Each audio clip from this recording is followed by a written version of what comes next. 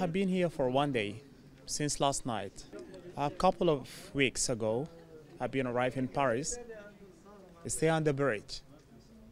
We don't have a place to go, so we found the empty school and then we get in. Till the procedures of asylum seeker. Of course, we need papers. We need the the government of Paris of France to accept us as a refugee and to do things for the procedures of asylum seeker. To have our paper, to have a place to stay, and to have identity.